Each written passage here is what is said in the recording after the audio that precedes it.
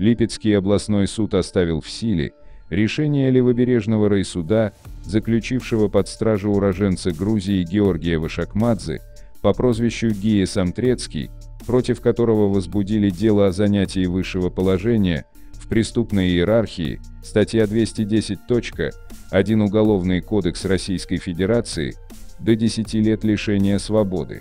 Согласно материалам суда, без удовлетворения оставлена жалоба защиты Георгия Вашакмадзе, не согласившейся с его заключением под стражу в СИЗО-1. По мнению адвоката, в материалах дела нет прямых указаний на причастность доверителя к преступной иерархии, а его поведение не указывает на намерение скрыться. Со стороны родственников фигуранта дела принимаются меры к возможности внесения залога при избрании данной меры пресечения. По версии регионального МВД, Георгий Вашакмадзе, отбывая наказание за вооруженный разбой в Федеральное казенное учреждение Т-2, Управление Федеральной службы исполнения наказаний России по Липецкой области занимал высшее положение в преступной иерархии.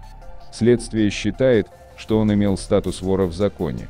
Мужчина вину отрицает и считает возможным избрать ему домашний арест. Согласно материалам суда, ему предъявлено обвинение.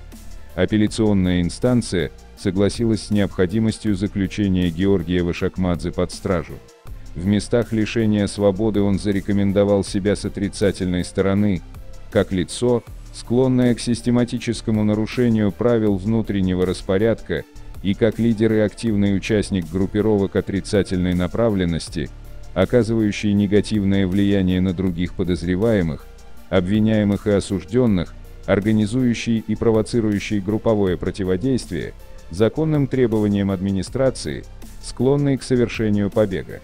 Распоряжением Минюста 28 февраля 2019 года пребывание Вашакмадзе в Российской Федерации было признано нежелательным. В связи с этим суд пришел к выводу, что он может скрыться и сохранил меру пресечения. Гия Самтрецкий стал известен широкой уголовной общественности после того, как в марте 2013 года по личному указанию Мираба Сухумского пустил в Мурмашинской колонии особого режима кровь внучатому племяннику и крестнику деда Хасана Георгию Акоеву Сиричгии Свердловскому, ответственному, по мнению грузин, за мученическую погибель в тюрьме Ельца-Вора в законе Гочи-Курки.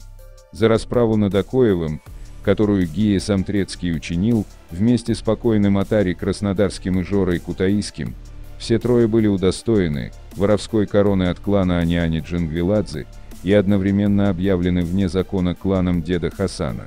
Спасибо за просмотр. Ставьте лайк, подпишитесь на канал, для получения оповещения новых видео нажмите на колокольчик.